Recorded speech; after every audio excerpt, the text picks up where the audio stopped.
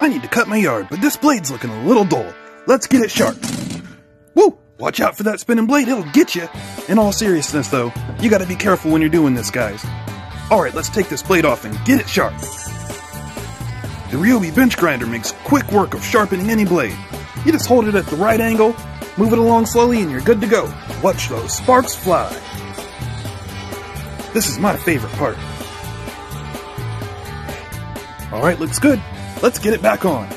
One thing I love about these electric lawnmowers is you can turn them on their side, upside down, it doesn't matter. It makes them great to store anywhere.